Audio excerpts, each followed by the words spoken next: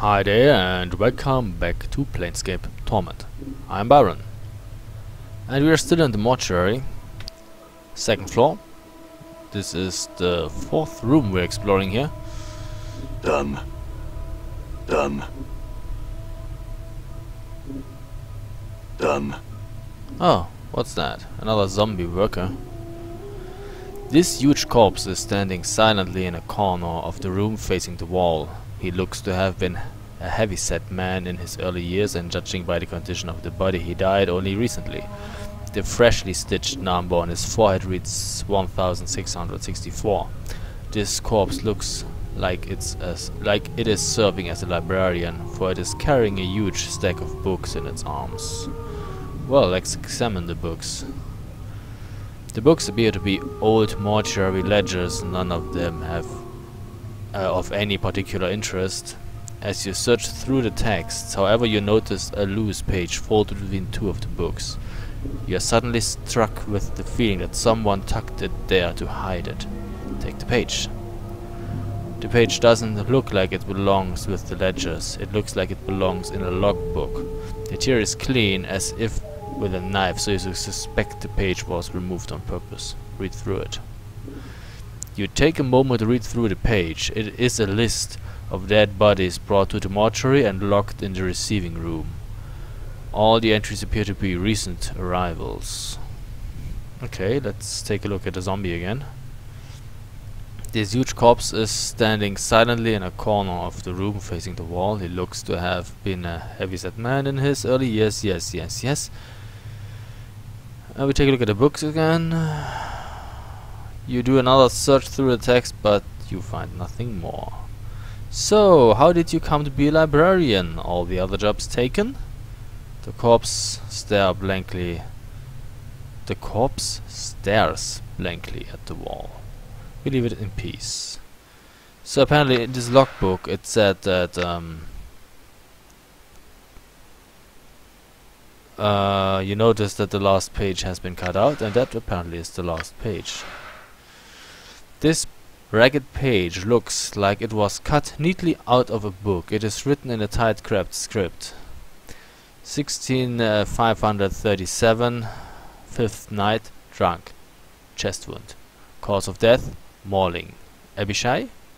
Collector pox 3 commons paid no possessions. 16538 uh, Fifth night desiccated corpse. Cause of death indeterminable Age of shell prevents identification. Collector Pharod. Three commons paid. No possessions. Stripped. Knife marks evident from dissection. 16,539. Fifth night. Scarred shell. Cause of death. Indeterminate. Scars do not appear to be do not appear to be cause of death. Shock trauma. Collector Pharod. Three commons paid. Possessions locked. Five fist irons. Thirteen commons middle table receiving room. 16,540, fifth night. Desiccated corpse number 2, cause of death indeterminable. Age of shell prevents identification. Collector Pharod, 3 commons paid, possessions locked. Knife marks evident from dissection, but the dissection was not thorough enough. Copper earring found lodged in abdomen. Earring has been locked in southeast preparation room. Having initiated from the third circle examine it, it has strange markings, like those on contracted worker number 79. 16,541. Fifth night, skeleton, cause of death indeterminable. Age of shell prevents identification. Collector Pharod, three comments paid, no possessions. Stripped? Knife marks evident from dissection. But I'm thinking that was the 16,540. I think this was the nameless one. As with the previous entries, these shells Pharod has brought also shows uh, these shells Pharod has brought also show signs of having been prepared. I have asked that Initiate Yamoric launch an investigation into the matter. Furthermore, entry 16542 is one of Pharod's gang. I have seen the individual before. I would ask Emoric to pay heed to how the man died. 16542 fifth night. Tiefling, male. Cause of death, slash marks. discoloration of wounds are consistent with grave rot. Ghoul claws? Collector Pharod, three commons paid, no possessions. Stripped, knife marks evident from dissection. Okay, so we apparently are looking for an earring that is locked in the southeast preparation room and we are looking for a contracted worker with the number of 79 that may have something to do with the earring. All right. Alright, let's save. and open the next door. The stench coming from this corpse is truly nauseating. Someone split open this man's chest and has yet to remove the internal organs. Done. There's nothing in here. I'm gone. There are a few bandages in here. All right. Empty. Empty. Empty. Empty. All that shit is empty. Who are you? Irene. You see a slight young woman with pale features. The sunken flesh around her cheeks and neck makes her appear as if she is starving. She seems intent on dissecting the corpse in front of her, prodding the chest with a finger. Greetings. The woman does not respond. She seems too intent on the body in front of her. As you watch her work, you suddenly notice her hands. Her fingers are talons. They are darting in and out of the corpse's chest cavity like knives removing organs. Who I said greetings? The woman makes no response. I think the dusty chit might be a bit short of hearing, Chief. Let's lay off, shall we? What's wrong with her hands? Updated my journal. Um, she's a tiefling, Chief. They got fiend blood in their veins, usually cause some ancestor of theirs shared knickers with one demon or another. Makes some of them addled in the head and addled looking too. Okay, let's tap the woman to get her attention. The woman jumps and whips around to face you. Her eyes are rotting yellow with small orange dots for pupils. As she sees you, her expression changes from surprise to irritation and she frowns at you. Uh, greetings? She doesn't seem to have heard you. She leans forward, squinting, as if she can't quite make you out. Whatever is wrong with her eyes must make her terribly nearsighted. She... She clucks her tail and fingers together, then making a strange motion with her hands. Find thread and embalming juice. Bring here to Ei-Vene. Go, go, go. And we have gotten a quest. What's wrong with your hands? Updated my journal. She turns away. She makes no sign that she heard you.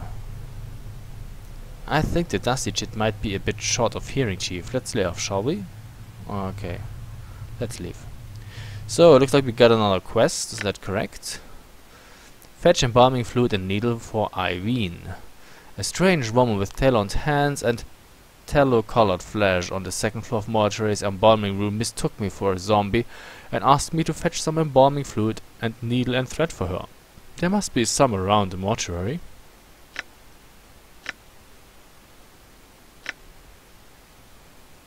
Nothing new here. Apparently the dust woman embalmer encountered is a tiefling, someone with fiendish blood in their veins. Apparently the fiendish blood warps their bodies in some cases, their minds as well. No, warps their bodies, and in some cases their minds as well. From what Morte said, it sounds like there are a number of tieflings about, which would imply a fair number of fiends as well. Or just one fiend that was really busy. I met a dust woman embalmer named Irene in the mortuary. In addition to her taloned hands and tallow-colored flesh, she was nearsighted and deaf and mistook me for a zombie. She ordered me to go find her a jar of embalming fluid and some needle and thread, presumably for stitching up the corpse on the table in front of her. There must be some around the mortuary somewhere, perhaps in one of the adjoining rooms. Done. I really like the journal, it is really All right. useful. What else do we have here? Uh, there's a door, okay. All right. Hey, let's talk to you. The heavily stitched corpse is shuffling lazy back and forth between two slabs. The number 506 has been stitched on its forehead, the side of its, its neck and its arm. In fact, the skin of this peeling corpse has been sewn up with so many stitches its skin looks like a bizarre street map. Well, let's take a closer look at the stitches then. The stitches encircle the corpse running from its arms across its chest, up its neck and into the damp mass of white hair. As you follow the crossroads of stitches you notice someone has jammed a needle into the corpse's forehead. The needle is attached to a thread stitching up the side of the skull. You could probably unravel it if you had something to cut the thread. Um, let's take a look at the corpse again. Okay, then uh, cut the stitches with your scalpel, then pull out the needle and thread. You get 100 experience points. You slice the thread neatly with the scalpel, then pluck out the needle and pull the stitches out. As you do, the skin covering the forehead peels back to reveal the corpse's chalk white skull, where to your surprise the number 78 has been chiseled. Hmm, let's take a look at the corpse again. Um, although the number 5 or 6 has been stitched almost all over its body, the skin on its forehead has peeled back from the skull, revealing the number 78 chiseled into the bone. Seems you got two different designations there, corpse. The corpse stares straight ahead, oblivious. We leave it in peace. All right. The bandages covering this body are soaked with blood. Even though this corpse looks several days dead, blood still trickles from its wounds. Uh, who are you? This corpse, 985, has stopped dead in its tracks. Judging from the condition of its left leg, it looks as if some sort of tomb rot or corpse mold has eaten through its knee. The corpse is wobbling unsteadily back and forth, trying to keep its balance. Try and help the corpse balance. You reach out for the corpse's left arm to help steady it, as you grab its arm, however, the corpse suddenly sways to the right and you end up tucking the corpse rather than steadying it. Uh, Chief, you might not... Uh. There's a crack from the corpse's left leg and the body falls like a dead tree. Its torso strikes the stone flagstones and shatters like a rotten melon, filth and ichor gurgling from the cavity. To your surprise, no one seems to have noticed the corpse's collapse. And even stranger, the left leg remains standing where the body was, as if at attention. After a moment, the leg falls over with a wet thump. As you gaze upon the putrefied remains of the corpse, you notice that its left arm seems intact. It has snapped from the torso during the fall and it doesn't appear to have been touched by the tomb rot that has spread through the rest of the body. Hmm, I wonder if I could make use of that arm. Yeah. No, we have to pick it up, I think, I guess. So we have another bandage. We have needle and thread. And we have corpse limb number 985. It's a crushing weapon. It's a club. This arm snapped clean off corpse 985 when it uh, accidentally toppled. as much... Well, I, I tried to help. As much as the corpse's knee was rotten clean through, it looks like the combination of thick applications of embalming fluid and rigor mortis has made this arm almost as hard as wood. If you needed to, you could either use it to shake someone's hand from a distance or use it to bash their skulls in. We have another weapon, uh, 1d6 crushing, but speed of 4. This is faster. So, well, what else can we destroy right. here?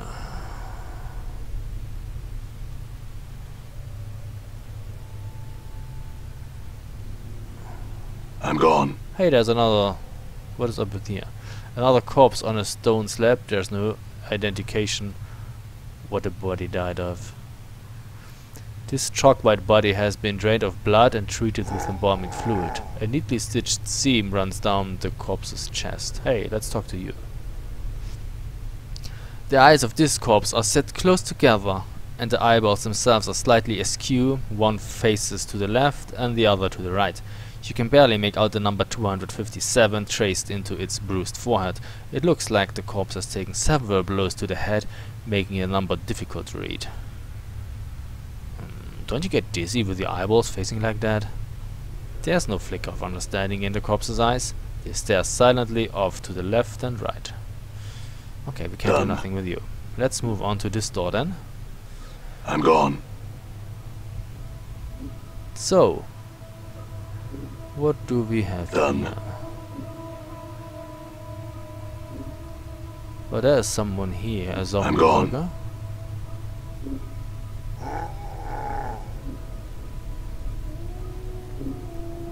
I'm gone. Nothing else. Okay, so how about we save it and talk to him.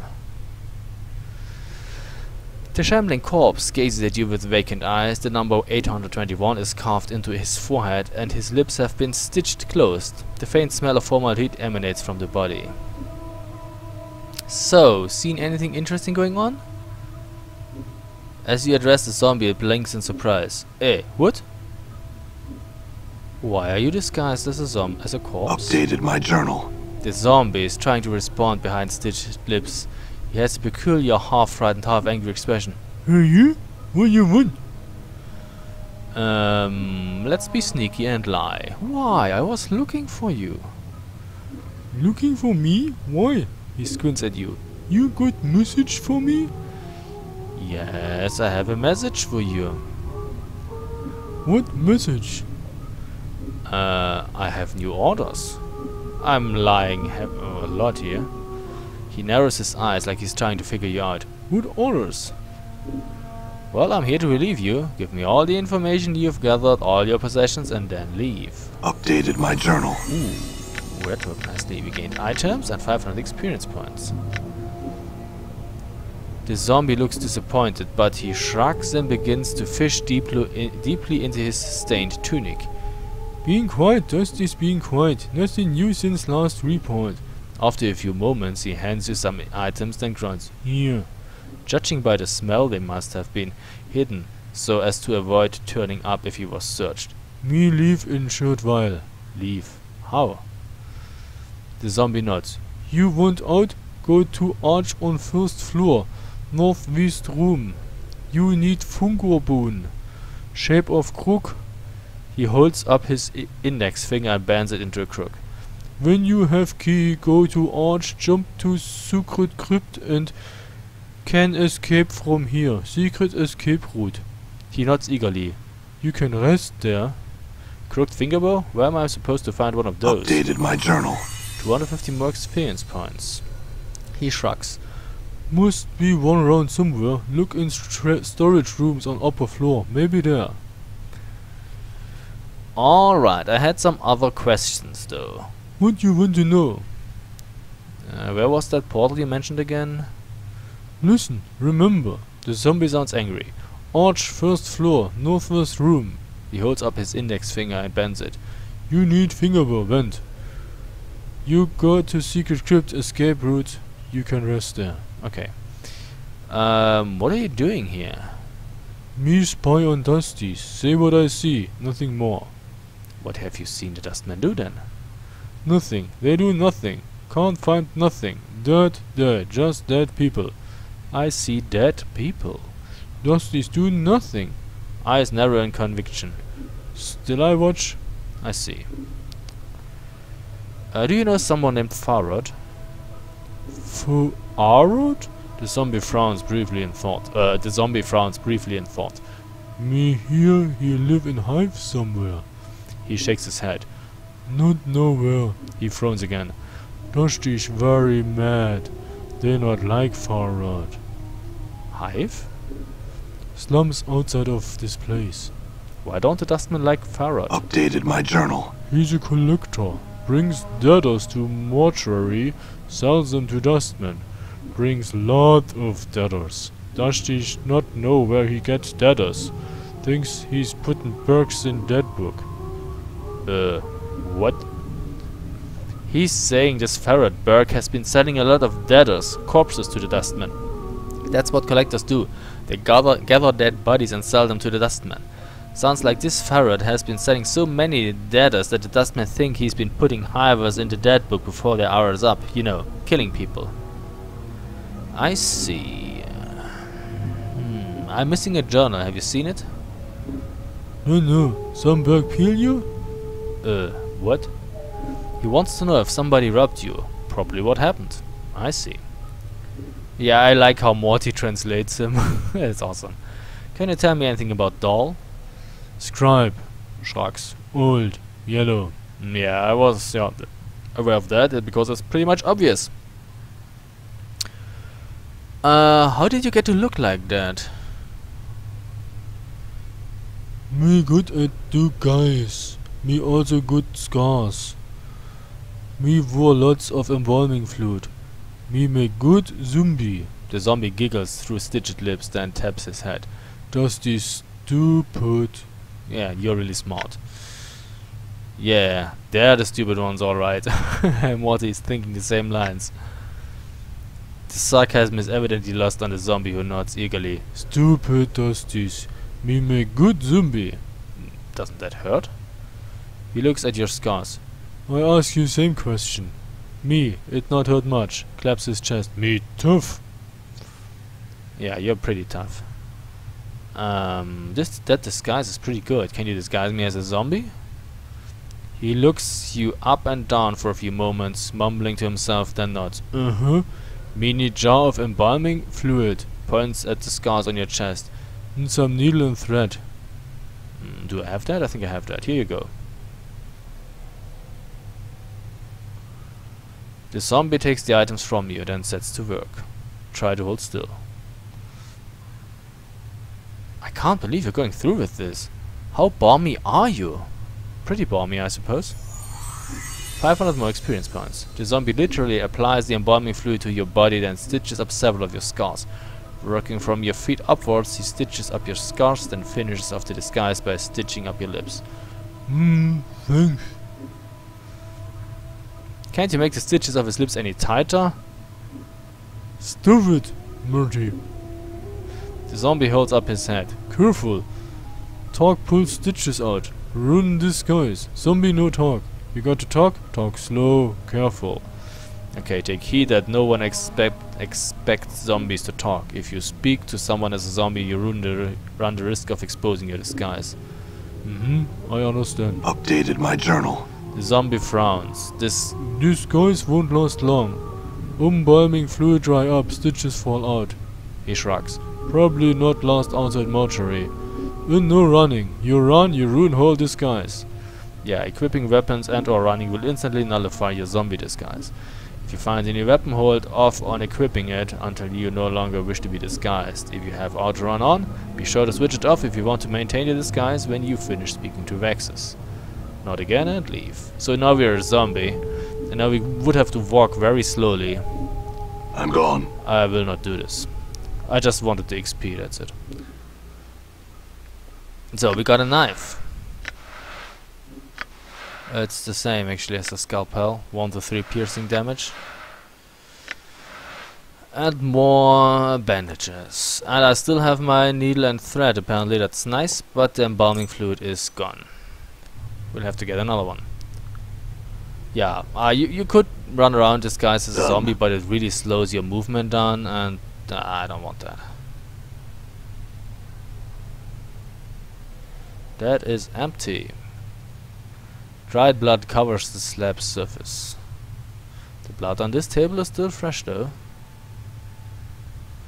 A bloody cloth covers the remains of this corpse. The stench rising from the body is almost Alright. unbearable. Let's take a look. I'm gone. That's empty too.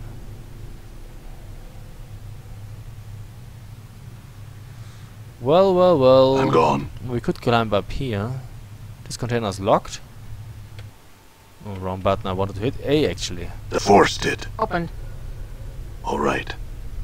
Ah, this is apparently the earring that we read about. This copper earring looks ancient. Oddly enough, there doesn't seem to be a hook or any means of actually attaching it to your ear. A series of strange grooves have been carved on the inside of the earring, however, which might merit a close examination. This copper earring looks extremely old. It looks like it was meant to be worn, but there doesn't seem to be a hook or yeah. Examine the grooves. The grooves are evenly spaced along the inside of the earring. Upon close examination, they remind you of small fangs. They're definitely man-made, but you can't figure out what they were intended for. We put the earring away. All right. We could go down here. No, it's locked. We could climb up here. Oh, more embalming fluid. All right. More embalming fluid. This was empty if I remember correctly. Yes. Let's return to Ei-Vene. She was here, I think.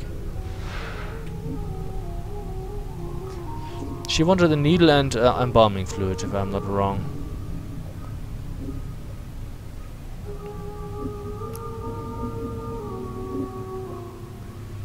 You see Ei-Vene. She is still dissecting the corpse's chest with her talons.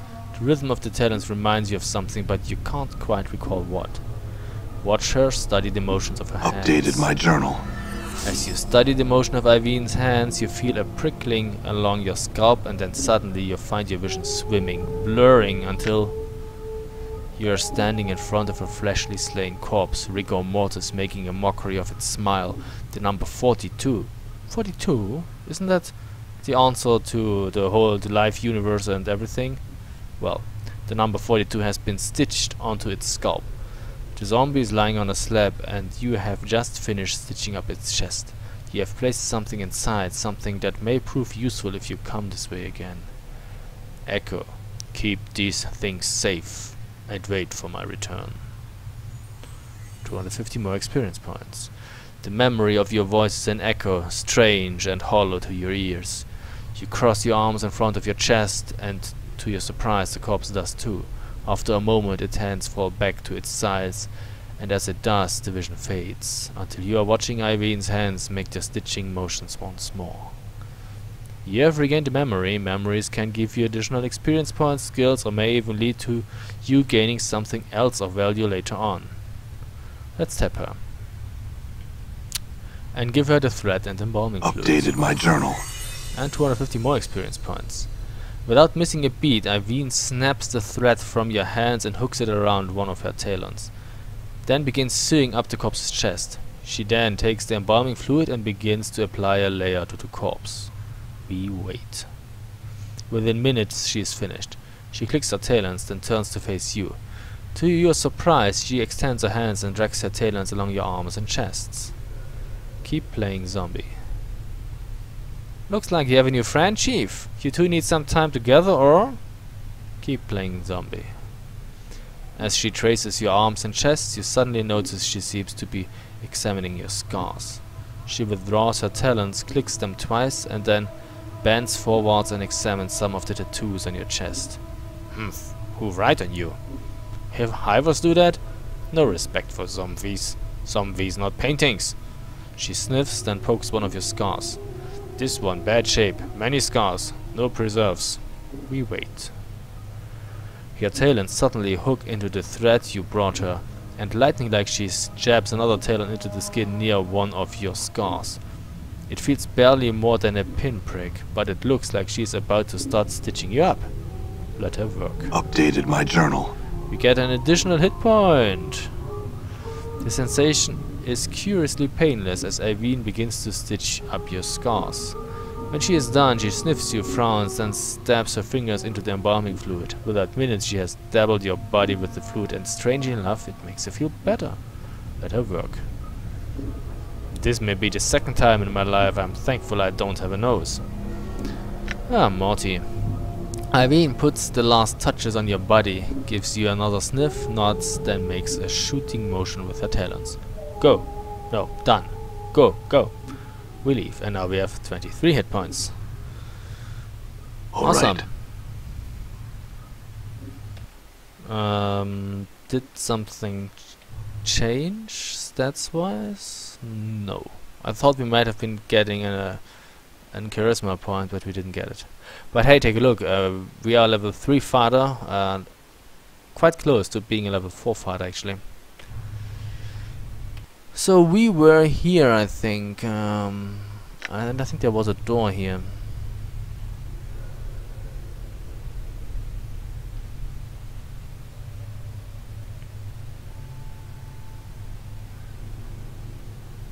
Oh, I need a key. Okay, then let's take a look at those stairs. Uh, and first take a look at the journal. Quests. Okay, we completed that quest. And we still have those quests. Ah, our first quest has been completed. Ain't that great? Uh, what else did we get?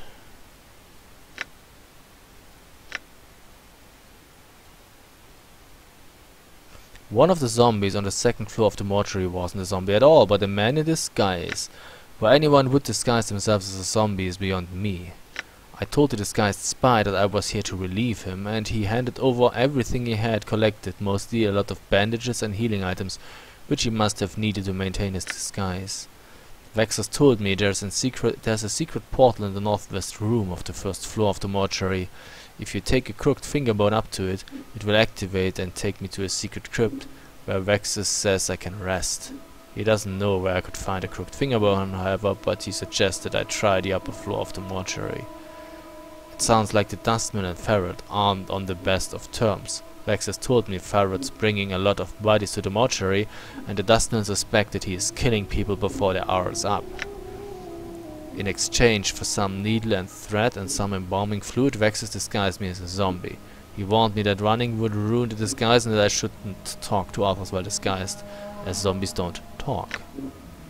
Watching Ei-Vene stitch up the corpse with her talons triggered a strange memory. Memory. I recall performing a similar operation on a corpse long ago, except that I think I was placing something inside its chest rather than taking something out. It felt like I was putting whatever it was in there so I could retrieve it later. In the memory when I crossed my arms, the corpse itself crossed its arms and, as well, uh, it had the number 42 written on its scalp. I delivered the embalming fluid and thread to Ei-Vene. She didn't seem terribly grateful. After I delivered the embalming fluid and thread to Ei-Vene, she stitched up my scars and applied the embalming fluid on my body. Strangely enough, it made me feel healthier. Yeah, we got a whole hit point out of that. And in the next video we will actually walk up those stairs. But for now, let's call it quits. So I thank you very much for watching, and we'll see each other in the next one. Bye.